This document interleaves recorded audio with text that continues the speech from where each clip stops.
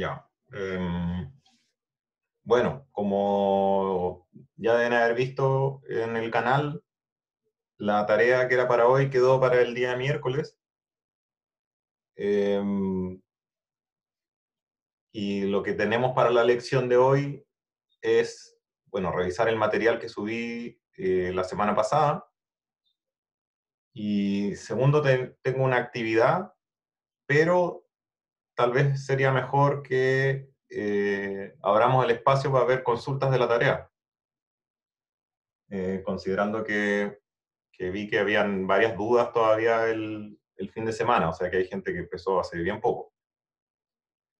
Em, entonces, revisamos el material y ahí, si alguien tiene dudas de la tarea, las podemos revisar eh, y la actividad que la hice como bastante eh, autónoma, la pueden revisar después opcionalmente ustedes.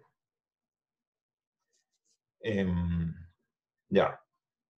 Bueno, habiendo dicho eso, pasemos entonces al, a la materia, que es el primer, em, el primer punto de em, lo que sería la unidad 3, la unidad 3 está enfocada en filtros también, pero que a diferencia de los filtros de la unidad 2, que eran estáticos, es decir, que los diseñábamos y se mantenían en su diseño hasta que terminemos de usarlo, los filtros de la unidad 3 son adaptativos. O sea que más que diseñar el filtro, lo que yo diseño es una regla para que el filtro se actualice.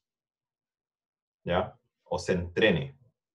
Entonces, esto tiene mucha relación, de hecho ya es casi como cruzando la frontera a lo que se denomina Machine Learning, que es el tópico fuerte del el curso de inteligencia artificial, el Info 257.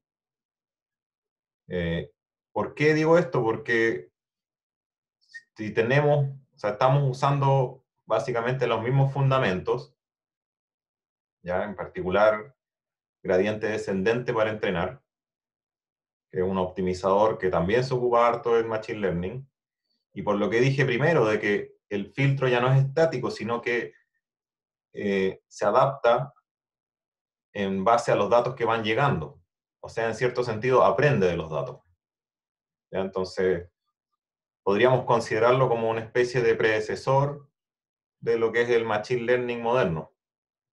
Ya como el abuelito de Machine Learning. Em, ya, pero entonces antes de hablar, antes de ir directamente a filtros que se adapten, tenemos que hablar de filtros óptimos. Porque como dije, la adaptación ya no es diseñar un filtro fijo, sino que es diseñar una regla. Entonces, ¿qué regla vamos a diseñar? ¿Cómo, ¿En qué nos vamos a basar para diseñar una regla? Y ahí es donde viene este término de óptimo lo que vamos a hacer es diseñar una regla que sea óptima. O sea, dadas las condiciones de mi problema y los datos que tengo, básicamente encontrar la mejor regla que, podría, que podría yo tener. ¿Ya? Em, entonces, este primer, este primer, esta primera lección de la unidad 3 eh, es, como la, que es como la introducción todavía no va a llegar hasta, hasta, em, hasta los filtros adaptivos. Los filtros adaptivos siguen en las lecciones siguientes. Aquí simplemente nos vamos a concentrar en lo que es un estimador óptimo. Ya en el sentido de que se va a entrenar con datos, pero que a diferencia de los que vamos a ver en las lecciones siguientes, yo lo entreno y se queda fijo. Entonces es como un, es como algo intermedio entre los filtros que vimos en la unidad 2 y los que vamos a ver más adelante en la unidad 3. Em, ya, entonces, ¿qué es un estimador lineal óptimo? Primero, ¿qué es un estimador? Un estimador es un sistema que está diseñado para extraer información a partir de una señal. Em, y en general vamos a asumir que la señal contiene información y contiene ruido. Entonces, en este sentido, un estimador es un sistema que lo que hace es eliminar o atenuar, el ruido. Entonces es como la otra cara de la moneda de los filtros nomás. De hecho, vamos a ver que estimadores y filtros son cosas muy similares. Pero este es típicamente el lenguaje que se ocupa cuando se habla de, de modelos que son adaptivos. Entonces, estimador, de hecho, es tal vez como una generalización de filtro. Aquí está eh, una separación de lo que sería un estimador. Un, filtro es un estimador que lo que hace es estimar el valor actual de la señal, pero acentuando o eliminando algunas características. Por ejemplo, acentuando lo que es información y atenuando lo que es ruido. Otro tipo de estimador es un predictor. Ya esto no es, es eh, se fijan, esto ya no es como el caso del filtro. El predictor es un estimador que lo que hace es, eh, es estimar el futuro de mi señal. ¿Cómo se va a comportar más adelante? Bueno, por supuesto, esa señal también podría tener ruido y también podría yo estar interesado en atenuar el ruido, obviamente. Pero sus funciones son distintas. Pero ambos son estimadores ambos son estimadores donde la información que, están extrayendo cambia un poco. Porque en el primero no me interesa el futuro, me interesa limpiar nomás lo que tengo. En el segundo, en cambio, me interesa, me interesa predecirlo, predecir el futuro de esa señal dado lo que tengo ahora. Entonces, esos son dos tipos de estimadores. Em, y son dos tipos de estimadores, de hecho, el filtro ya lo hemos visto harto y el predictor es eh, el elemento nuevo tal vez, que vamos a revisar en las próximas lecciones. Muchos de estos filtros online justamente, justamente se basan, se diseñan para esto, para predecir. Em, bueno, ¿qué significa estimador lineal óptimo? Ya hemos visto lo que, en, en amplio detalle lo que significa ser lineal, ¿ya? básicamente que la cantidad que estoy estimando, ya sea el valor en el futuro o el valor actual pero limpio, es una función lineal de la entrada, o sea, es una especie de convolución entre el filtro y la entrada. ¿Ya? Tiene que cumplir la propiedad de aditividad y la propiedad de, homogeneidad. Em, esa es la parte lineal, que de hecho bueno, es el, es el tópico principal de este curso. Pero ¿qué significa óptimo ahora? Hasta ahora no, hemos, no habíamos hablado de esto, de óptimo. Óptimo se refiere a que ese estimador lineal es la mejor solución posible. Y obviamente para hablar de la mejor solución necesito un criterio. Tiene que ser mejor de acuerdo a algo. ¿Ya? Entonces, mejor óptimo no significa como eh, el mejor de los mejores. Solamente significa el mejor de acuerdo a un cierto estándar o un cierto criterio. Si yo cambiara el criterio, podría encontrar otro, otro mejor estimador, otro óptimo, y tener distintos óptimos dependiendo de cada criterio. Entonces ahí es bien importante también eh, el criterio que yo estoy usando. Ya eso es con respecto a qué es un estimador lineal óptimo. Y nosotros vamos a ver ejemplos de filtros y vamos a ver ejemplos de predictores. Y primero eh, vamos a ver solamente el tema de óptimo y después el tema adaptativo. O sea que no solamente es la mejor solución de acuerdo a un criterio, sino que puede evolucionar en el tiempo. Entonces, en esta lección nos concentramos en, solamente en la parte óptima. Em, y para eso se necesitan algunos formalismos matemáticos. Aquí traté de, resumir lo más que pude y dejarlo en el lenguaje lo más claro posible. Em, de estadística, me imagino que ya deben, ya deben entender y recordar lo que es una variable aleatoria. Una variable aleatoria es una variable que toma distintos valores cada vez que yo la observo, y esos valores se distribuyen de acuerdo a alguna distribución por ejemplo, gaussiana, uniforme, etc. Y yo puedo generalizar esta noción de variable aleatoria a lo que se llama un proceso aleatorio. Y un proceso aleatorio no es más que una colección de variables aleatorias. Entonces yo puedo tener la variable aleatoria U1, U2, U3, U4. Y, y si yo tuviera solamente una, entonces eso sería como tener solamente U1. Yo la observo varias veces yo, y, observo primero el valor rojo, después el valor verde y después el valor azul. Ahora, si yo tengo una colección, ¿ya? como en este caso que es una colección de cuatro, entonces yo observo una vez y lo que voy a obtener es la línea verde. Observo de nuevo la línea roja, observo de nuevo la línea azul. Eso es básicamente lo que sería un proceso aleatorio eh, en su versión tal vez más sencilla de explicar. Entonces tenemos este índice, ya tenemos variables aleatorias que están indexadas, y ese índice puede representar muchas cosas, pero en nuestro caso casi siempre va a representar el tiempo. Entonces vamos a hablar de instante 1, instante 2, instante 3, instante 4 y así sucesivamente. Podría ser otra variable independiente, como dice acá, pero para nosotros va a ser en general el tiempo. Entonces, esto es como una especie de generador de series de tiempo. Si es que yo conociera las distribuciones de U1, U2, U3 y U4, entonces yo podría generar eh, series de tiempo aleatorias, por decirlo así. Ahora, ¿cómo yo, por qué me interesa esto? es porque a mí me interesa, eh, como dije, me interesa eh, filtrar y me interesa predecir. Entonces, para predecir el futuro de una señal, yo podría asumir que esa señal vino generada de un objeto como este. Entonces, si yo entiendo cómo funciona ese objeto, ese proceso aleatorio, yo podría seguir prediciendo la señal de ahí en adelante. Esa es básicamente la razón de por qué aparecen los procesos aleatorios en la sopa. Em, ¿Qué significa entonces entender el proceso aleatorio? Como dije, un proceso aleatorio es una colección de variables aleatorias. Y las variables aleatorias, si bien yo no puedo conocer su valor, sí puedo conocer información súper importante de ellas, como por ejemplo sus momentos.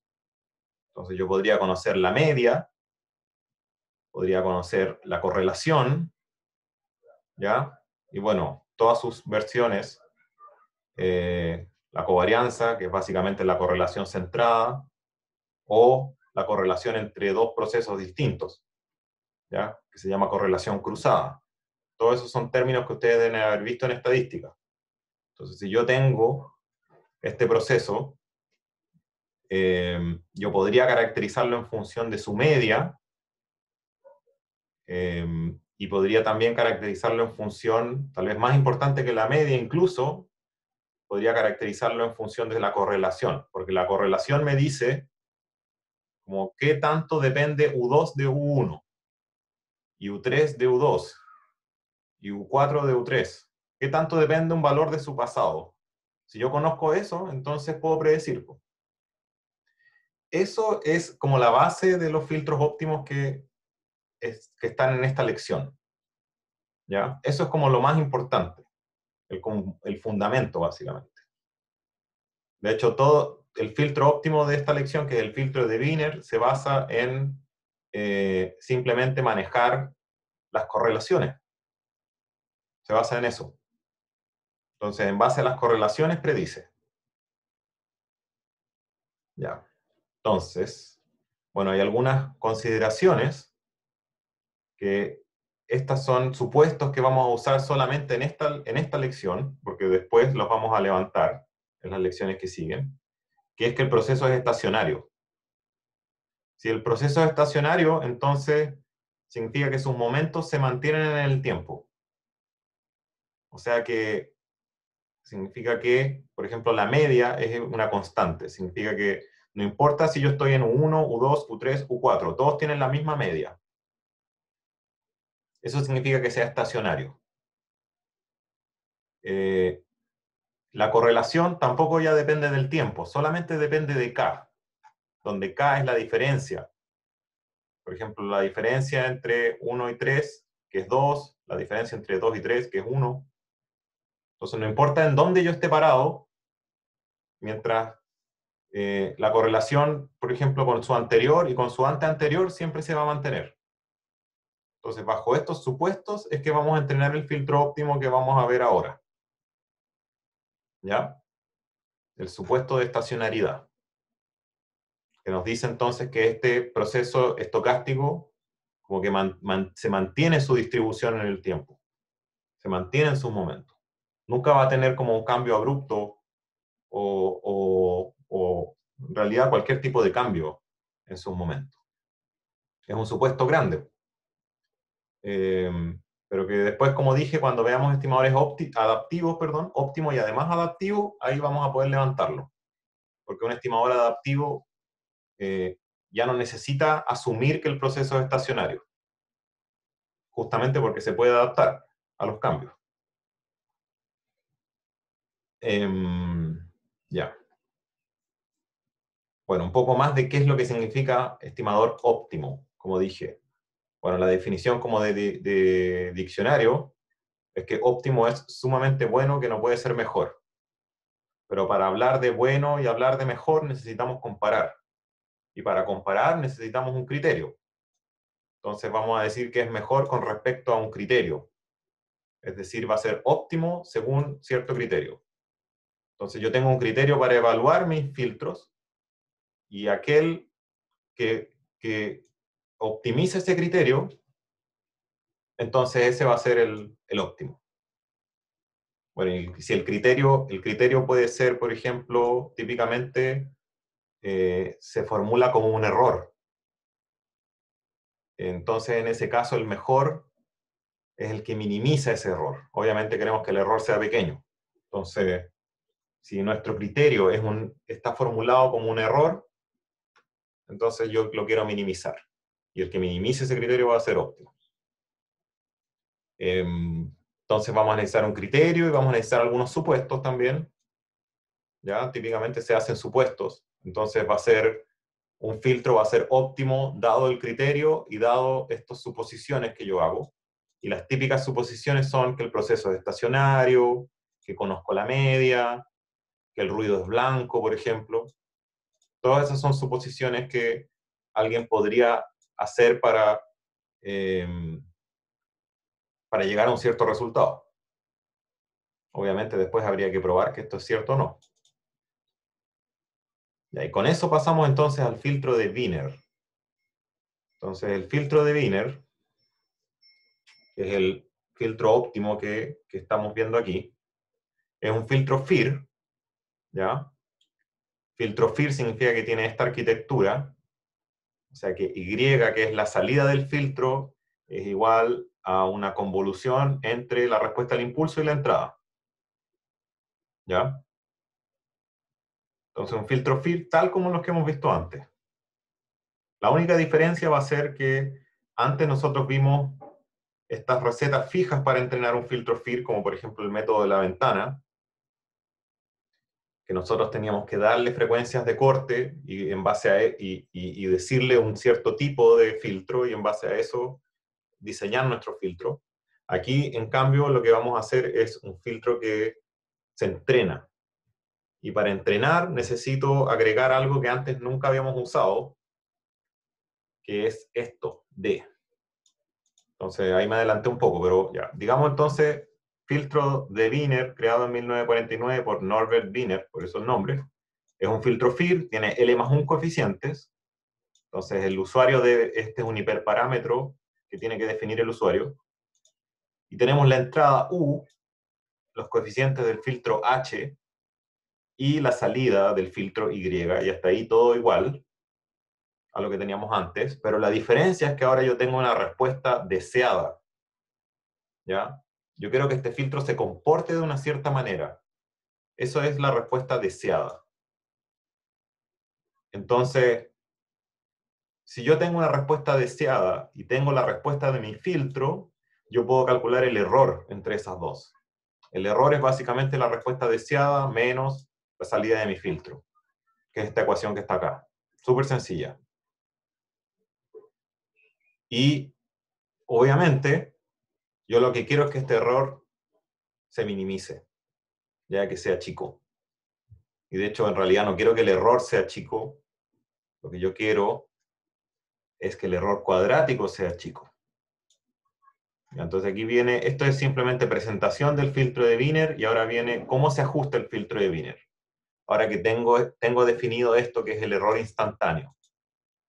El error instantáneo es su n. No puedo yo minimizar directamente este error. Porque un error, el error podría ser negativo o positivo. Y un error, si yo minimizo el error directamente, entonces voy a obtener un error grande pero negativo. Y yo no quiero eso. Yo quiero que, le, yo quiero que el error eh, sea cercano a cero. Entonces, si yo quiero que el error sea cercano a cero, lo que me conviene es minimizar el error cuadrático. O sea, yo elevo al cuadrado el error y eso significa que un error grande negativo o un error grande positivo, ambos van a quedar con signo positivo y yo lo puedo minimizar tranquilamente porque eso es lo que me va a llevar a un error cero.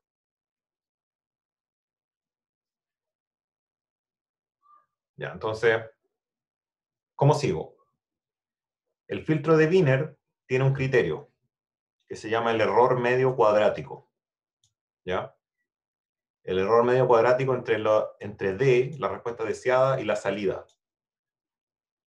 Entonces, ¿cómo se calcula el error medio cuadrático? Por definición, es el valor esperado, ¿ya? Esto es el, el operador valor esperado de eh, los errores instantáneos al cuadrado. Que yo puedo descomponer como d menos y al cuadrado y que después puedo desarmar el cuadrado como d cuadrado menos 2dy más y cuadrado. ¿Ya? Donde puedo seguir definiendo, por ejemplo, esta cosa como la varianza de mi señal deseada y esta cosa de acá como la varianza de mi filtro. ¿Ya? Entonces, minimizar esta cosa, como dice aquí, equivale a hacer que la salida del filtro se parezca a la salida deseada, a la respuesta deseada. Por eso es que se ocupa eh, como criterio de optimalidad en este caso. Bueno, otros criterios de, optimalidad finalmente van a dar resultado otro filtro, que no es el filtro de Wiener. En realidad el filtro de Wiener partió, primero partió como criterio, que después llevó a una regla, que es la regla del filtro de Wiener. Entonces, distintos criterios van a dar resultado a distintos filtros.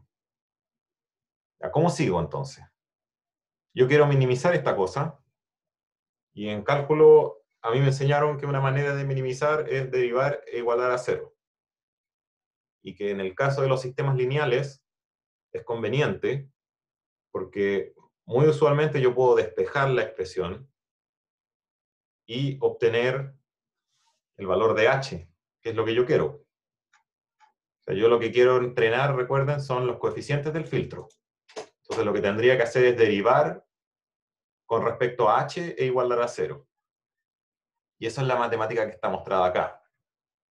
Entonces, la derivada con respecto al hj del error medio cuadrático, fíjense, tengo estos dos términos de aquí, perdón, estos tres términos de acá. El primero, que es la, varianza de la salida deseada, de la señal deseada, no depende de h, entonces se anula. Eh, en el segundo, tengo una multiplicación de d por y, el operador derivada puede entrar dentro del valor esperado, sin ningún problema. Entonces voy a tener dy de h, recordemos que d no depende de h, por eso es que el primer término se anula. Eh, y en el segundo, bueno, va, a aparecer un 2, me va a quedar 2y de y de h. Y yo sé lo que es, pues es esta cosa de acá esta sumatoria. Entonces, si yo derivo esto con respecto al HJ, lo que me va a quedar es el UN menos J. Que es lo que está aquí. UN menos J, UN menos J. Y el Y, nuevamente, yo lo puedo reescribir como esta sumatoria, HK, UN menos K. Y el valor esperado aquí en este caso puede entrar en la sumatoria. Ya recordemos que el valor esperado solamente tiene sentido para procesos que son estocásticos, ya para variables aleatorias, y h no es una variable aleatoria. H es un valor, es un parámetro, es un número, es determinista. Entonces significa que el valor esperado puede entrar dentro de la suma y vamos a tener por un lado el valor esperado de d por u y por otro lado el valor esperado de u con u. Y eso igualado a cero. Y esto para todos los j, desde 0 hasta l.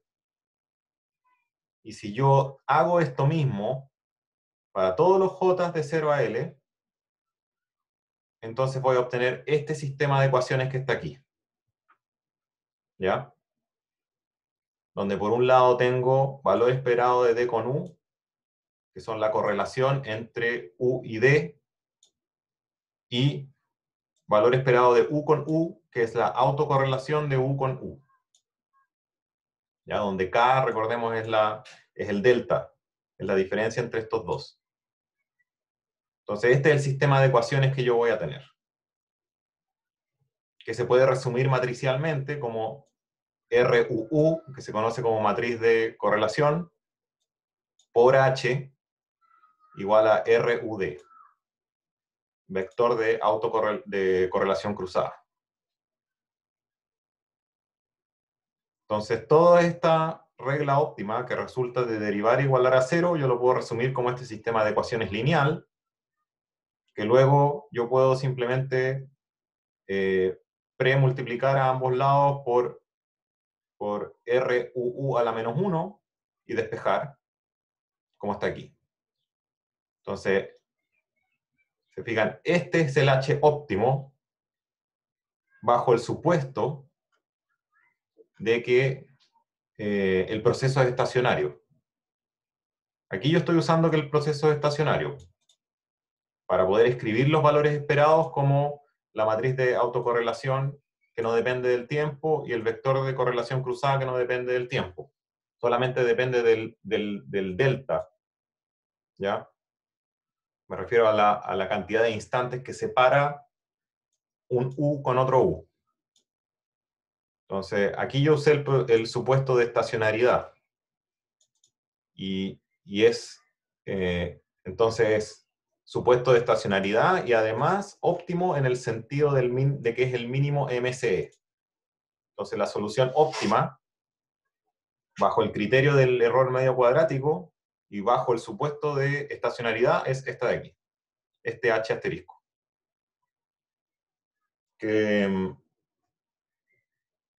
em, que se fijan, em, esta de acá es una matriz cuadrada, o sea que yo podría, eh, podría calcularle la inversa. Eh, siempre y cuando no sea singular, por supuesto. Em, pero en este caso, para RUU, no solamente es cuadrada, sino que se fijan, tiene como una especie de. Tiene.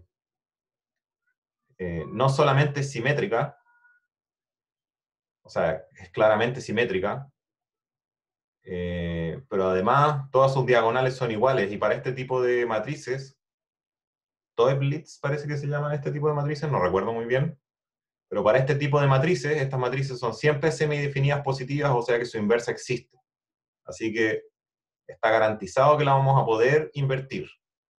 Y además es más fácil de invertir que una matriz cuadrada cualquiera, porque una matriz cuadrada cualquiera de L por L nos cuesta L cubo. En cambio, invertir esta matriz especial nos cuesta L cuadrado nomás. Aquí hay un algoritmo, el algoritmo que se puede ocupar para este tipo de matrices. Em, bueno, eso. Esa es la solución óptima del filtro de Wiener, entonces. Y aquí hay algunos, aquí está el resumen de los supuestos. Entonces, la salida deseada y la entrada son estacionarias. Es decir, que la correlación solamente depende del delta. Y además asumimos también que la salida y la entrada tienen media cero. Pero en realidad esto es, si es que esto no se cumple, básicamente podemos restarle la media nomás y hacer que se cumpla. Como que este podemos forzar que se cumpla. Pero este no. Si no es estacionaria, o sea, si entreno y al poco tiempo la señal cambia completamente su distribución, entonces este filtro que era óptimo en los datos que yo entrené va a ser pésimo en los datos que van a venir. Ya. ¿Se entendió entonces esta parte? Esta, esta es como la parte más densa matemáticamente. No sé si quedó alguna duda. Hay que invocar ahí lo álgebra lineal y, y cálculo.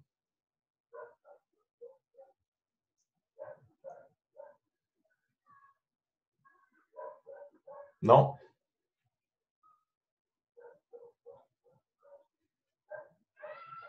Ya, seguimos entonces.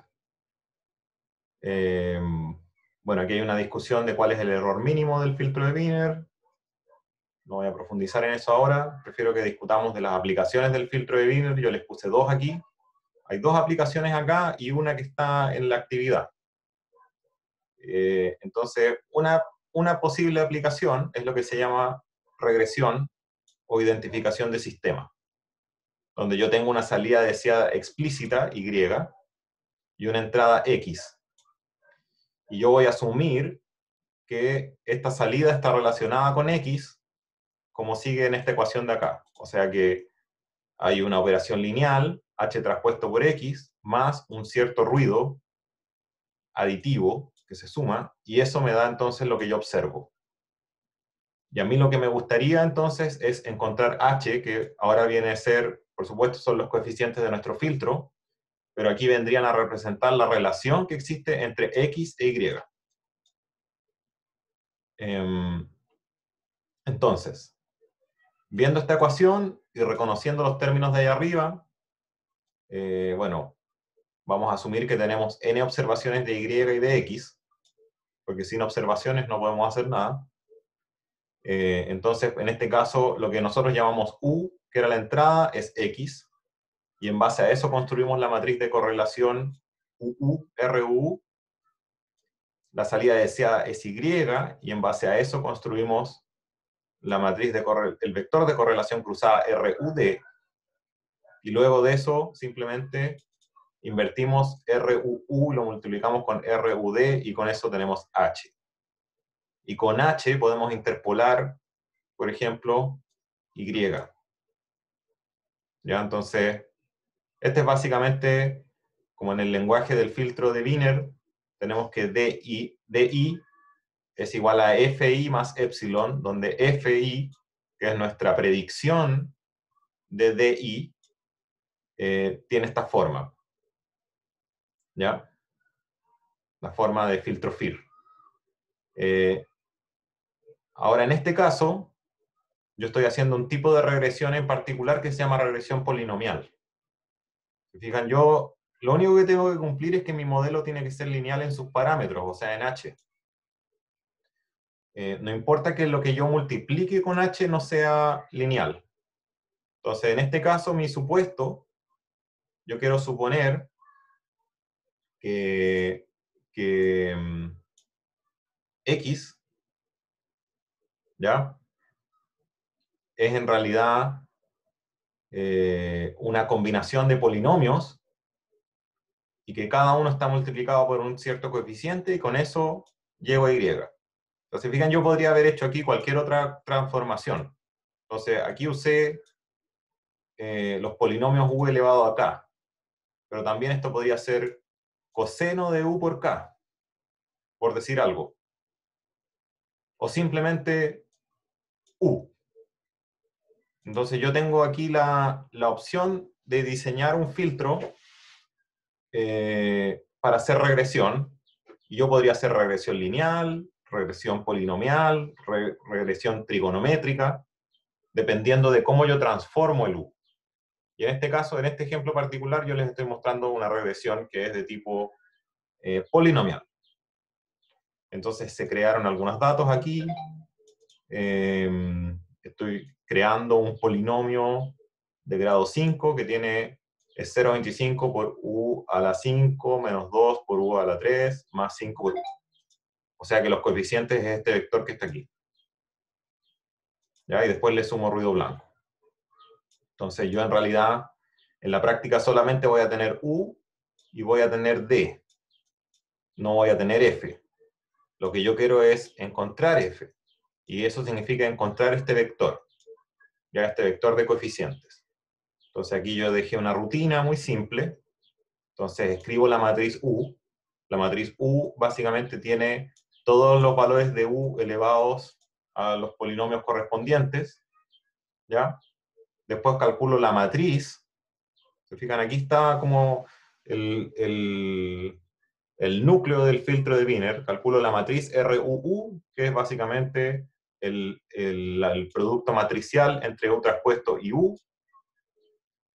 Em, la correlación cruzada entre U y D, producto matricial entre U y D, y después resuelvo el sistema lineal, ya que tendría que hacer como está aquí, invertir RUU y después multiplicar por RUD, pero no tengo para qué invertir porque hay una función de, de NumPy que es del módulo de álgebra lineal que se llama solve, que yo le doy, eh, que, que, lo que hace es resolver este tipo de ecuaciones.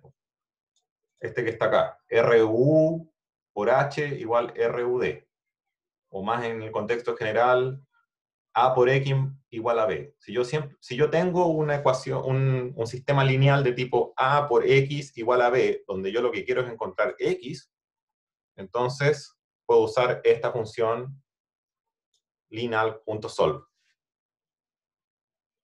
Muy sencillo. Entonces le doy RU, RUD y esto me da el H asterisco. Y esto es todo lo que necesito para entrenar. Tengo que entregar U, tengo que entregar D y tengo que entregar L, que es mi supuesto de, en este caso L, que es el tamaño del filtro, está además mi supuesto de cuántos grados tiene el polinomio. Y después, yo lo que quiero hacer es interpolar. O sea, una vez que aprendí mi sistema, me gustaría interpolar sus valores. Tal vez me interesa estudiar cómo, cómo se comporta en el continuo. Ya eso es lo que eso es lo que yo quiero hacer usualmente con una interpolación. Entonces la figura muestra eh, la señal limpia, F, que es la, la línea azul, la cual yo no conozco, los datos, que son los puntos negros, ya que esto sí conozco, y mi señal interpolada, pero en este caso con L igual a 2, L igual a 5 y L igual a 10. Entonces ahí está eh, el resultado con distintos valores de L. Podemos ver, por supuesto, que L igual a 2 es demasiado sencillo, no, no modela muy bien mis datos. L igual a 10 ya se está pasando en términos de que, que se está como sobreajustando el ruido, ¿ya? Y L igual a 5, en cambio, parece ser la solución mejor, que por supuesto tendría que ser la mejor, porque yo usé un polinomio de grado 5 para crear esto. Pero ya visualizando las curvas, puedo notar que L igual a 2 se queda corto, L igual a 10 en realidad se ve como que, que está pasando por cero en algunos puntos, eso es señal de que está medio sobreajustado. Cambio L igual a 5 es una buena, un buen trade-off entre ser suave, ¿ya? Y modelar bien los datos. Entonces aquí está lo mismo el resumen. Si L es muy pequeño, el filtro es demasiado simple. Si L es muy grande, el filtro se puede sobreajustar al ruido. Y esto, para los que ya han estudiado algo de Machine Learning, entonces esto, este problema del sobreajuste, seguramente ya lo habrán escuchado. Cuando un modelo es demasiado complejo y se aprende, se aprende los datos de memoria. Justamente es un escenario que, el cual preferiríamos no estar porque significa que después vamos a evaluar nuestro modelo en otro dato y va a funcionar bien mal. Entonces, en este caso tendríamos que, por ejemplo, guardarnos algunos puntos, no usarlos para entrenar y, eh, y en base a eso, por ejemplo, escoger el mejor modelo. en este caso lo podemos visualizar, pero si tenemos más dimensiones, eso podría ser medio difícil. Entonces, en ese caso podríamos guardar algunos puntos y hacer alguna estrategia de validación cruzada. muy similar a lo que hacen los métodos, lo, que se hace en los métodos de Machine Learning.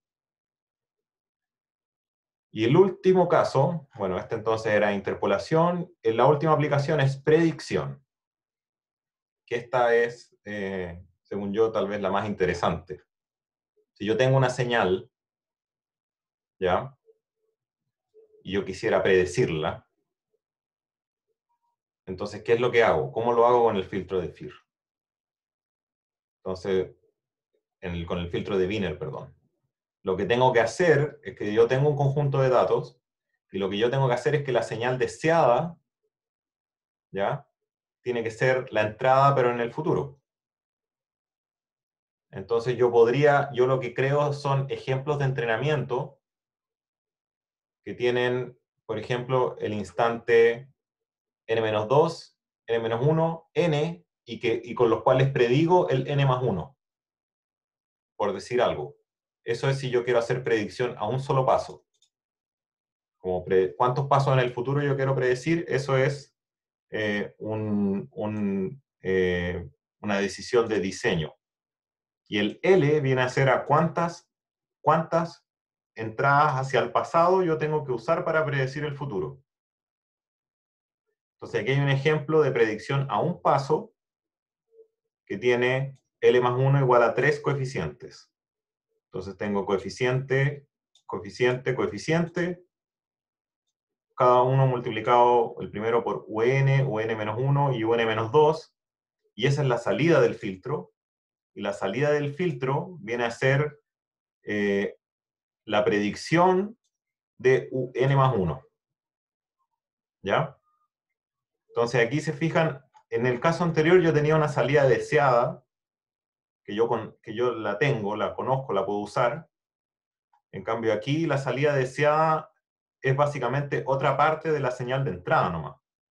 La señal de entrada yo la voy a partir. Y en realidad tampoco es como que la voy a partir, lo que, simplemente lo que voy a hacer es crear ejemplos que sean todos como, como este que está aquí. Entonces yo voy a tener el 3, el 2, el 1 para predecir el 4. Después el 4, el 3, el 2 para predecir el 5. Y así sucesivamente. Eso es lo que hace este código que está acá. De hecho, aquí yo estoy usando una función de NumPy, un utilitario que, que se llama asstrided, ¿ya? que lo que hace es justamente generar esas combinaciones. Esas combinaciones que yo acabo de mencionar. Entonces yo tengo U, que es mi señal con ruido, ¿ya? En este caso una sinusoide con ruido. Y voy a usar esta función que yo acabo de mencionar para construir todas estas combinaciones 3, 2, 1 con 4, 4, 3, 2 con 5, 5, 4, 3 con 6, y así sucesivamente. Y luego que tengo todas esas combinaciones, voy a calcular la matriz RUU y la matriz RUD. Entonces, por cómo se construye esta cosa, la última columna de U va a ser el predictor, el que yo quiero predecir. Entonces, RUU yo lo calculo con todas las columnas menos la última, y después RUD lo calculo con U con todas las columnas menos la última, multiplicado por la última columna, que es la columna que yo quiero predecir. Y luego, eh, luego uso eh, linalg.sol nuevamente para calcular h asterisco. Y con eso cambio ligeramente la función para predecir. Entonces lo que me va, lo que, lo que recibe la función de predecir es el pasado ¿ya? Y con eso me va a ir rellenando el futuro de a poco. Entonces, va a recibir un cierto vector que corresponde a, lo que yo he visto hasta ahora, y de ahí en adelante voy a seguir funcionando con lo que yo prediga. Y aquí hay un ejemplo de cómo cambia el desempeño del filtro con distintos horizontes. Entonces, perdón, no horizonte. El horizonte de predicción siempre es uno en este ejemplo. Lo que cambia es cuántas muestras del pasado yo ocupo para predecir el futuro. Entonces, en el primer ejemplo ocupo 5, se ve que predice bien mal, de hecho se queda en la media básicamente. Con 10 ya se ve que está prediciendo bastante mejor. Con 20, ahí se ve como que, es el mejor resultado. Y después con 40 se ve que eh, nuevamente está pasando que el filtro se está como sobreajustando un poco al ruido. ¿Ya? O sea, mucho mejor está, e, este, estos datos tienen ruido. Se lo estoy sumando acá. Entonces, obviamente no queremos, no queremos que prediga el ruido. Entonces, esta, esta vendría siendo a ojo la mejor solución. Y nuevamente, si yo quisiera hacer esto, encontrar la mejor solución de forma programática, entonces lo que podría hacer es si yo tengo solamente los puntos verdes para entrenar, usar, guardarme algunos, evaluar el modelo y en base a eso escoger el mejor orden. Aquí se ve, los puntos naranjos son el futuro real, que de hecho yo no ocupé aquí para entrenar porque yo ocupo el pasado y después simplemente voy en base a lo que predigo, haciendo predicciones sucesivas. Em, por eso es que además se ve que el error como que empieza a explotar. Se fijan aquí el error como que es más chico y después empieza como a explotar, explotar, explotar, porque si mis predicciones son malas y mis predicciones nuevas se basan en mis predicciones anteriores, entonces lo que va a pasar es que el error va a empezar a incrementarse. Entonces, nuevamente, si él es pequeño, el filtro es demasiado simple, no es capaz de aprender la relación entre los datos, Y si él es demasiado grande, vamos a tener sobreajuste, nuestro filtro se va a desempeñar mal, y como por la, de la manera, perdón, ah, me enredé con la lengua, y por la forma en que estamos prediciendo, el error se va a empezar a propagar para adelante, cada vez más grande. Eh, bueno, y la última aplicación era eliminar ruido aditivo, y ese es lo que está eh, bien explicado en la actividad. Pero, como dije al principio, eh, yo creo que es mejor que pasemos a hablar de la tarea, si es que tienen dudas.